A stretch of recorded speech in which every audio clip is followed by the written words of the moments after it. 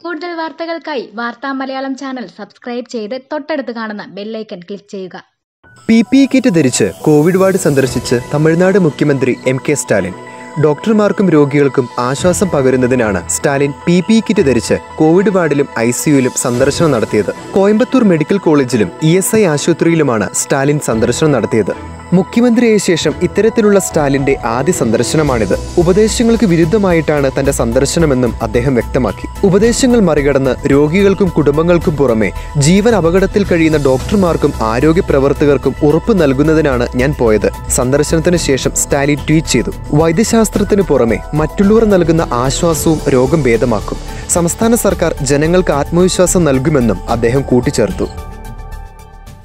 കൂടുതൽ വാർത്തകൾക്കായി വാർത്താ മലയാളം ചാനൽ സബ്സ്ക്രൈബ് ചെയ്ത് തൊട്ടടുത്ത് കാണുന്ന ബെല്ലൈക്കൺ ക്ലിക്ക് ചെയ്യുക.